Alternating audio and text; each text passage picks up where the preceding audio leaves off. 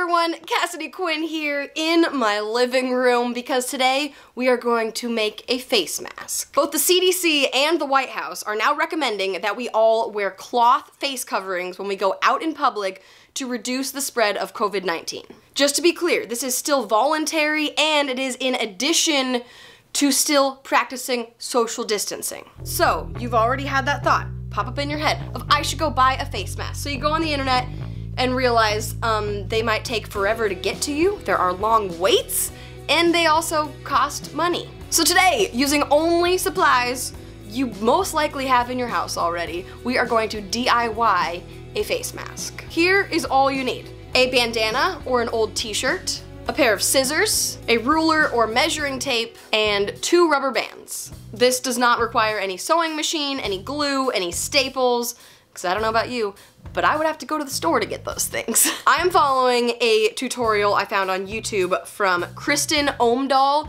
In her video, Kristen uses a bandana because it's the perfect size to do this face mask tutorial, but I do not have any bandanas at my house, so I have just raided our bin of old t-shirts and found this one with a hole in it, perfect to make into a face mask today. But since I'm using this instead of a bandana, the first step is to cut this into the size of a bandana, which is 22 inches by 22 inches.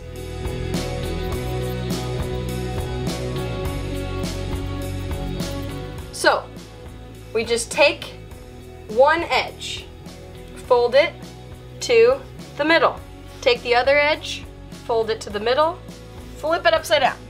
Now, we're gonna fold both sides to the middle, Again, take our rubber bands, put one on this side, put one on the other side, flip it over again, then we're gonna take this side, fold it in, take this side, fold it in, and you can kind of tuck the edges into the other edges. I'm gonna cut off some of these extra bits just because there's too much fabric there.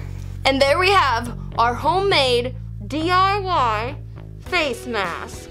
Look, it works. Of course, if you wanna make it so that it doesn't start unfolding or just so it lasts longer and stays in place, you could just sew a little seam around that inside rubber band. I'm gonna do that with mine, just a couple stitches sewn by hand, quick and easy, but then I can cut off this extra fabric and not have all of it in my face. Or if you wanna take it one step further, after you do that sewing part, you'll have a little casing on each side of your mask. So you can make alternate straps by cutting off basically two one inch wide strips off of your t-shirt and then using a safety pin on the end of the piece of fabric you can just string it through the edge of the mask then use those as ties to tie it around the back of your head. For me, this made the mask actually stay in place a lot better. I didn't have to worry about the rubber bands falling off of my ears and also having rubber bands on my ears for a while.